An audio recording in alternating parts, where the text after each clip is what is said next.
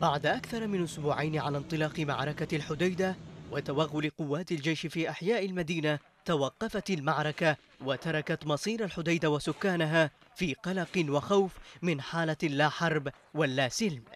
كان القرار إماراتيا واضحا بتوقف المعركة فيما تبينت مواقف الحكومة الشرعية بين مؤكد وناف.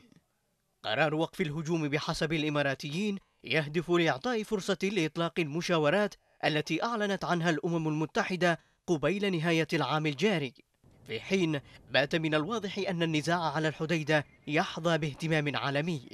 بدا ذلك من حالة السخط السياسي والدبلوماسي الدوليين وتحضيرات تداعيات الكلفة الإنسانية للمعركة.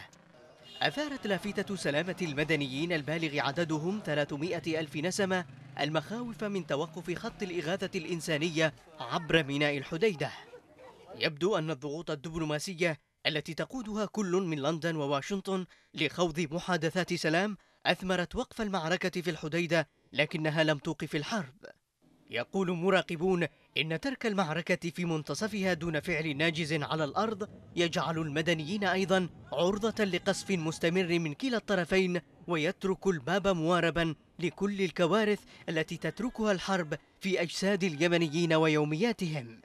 فاليمنيون اليوم واقعون في حرب توازنات قوى دولية لا تنظر إليهم إلا من خلال مصالحها.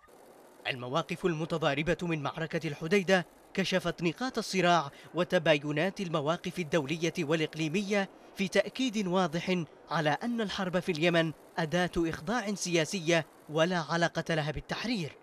موازين القوى الدولية يبدو أنها تميل إلى التشكيك في نوايا التحالف وصلت حد انعدام الثقة بقدراته على الحفاظ على ميناء الحديدة خصوصا أن تجاربه مع الموانئ اليمنية وعلى رأسها ميناء عدن قلب الملاحة اليمنية المعطل باتت واضحة. سياق تمضي معه دعوات وقف تسليح السعودية التي باتت بنظر العالم لا ترى في الحرب اليمنية سوى معركة استنزاف يدفع فيها اليمنيون الثمن بايظاً.